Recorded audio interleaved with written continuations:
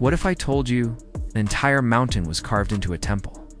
This is the Kailasa Temple in India, a structure that wasn't built, it was excavated.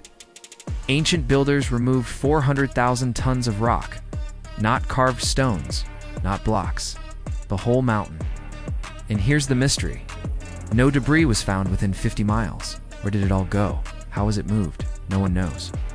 Even crazier, the temple was carved top down, a technique nearly impossible with hand chisels. One wrong strike, and the entire structure collapses. But they carved it flawlessly. Pillars, corridors, statues, ceilings, all from one single stone.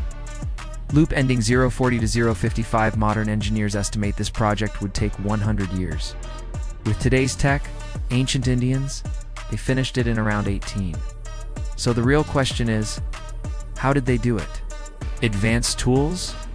Lost techniques? Something we still don't understand? Follow for more unexplained history mysteries.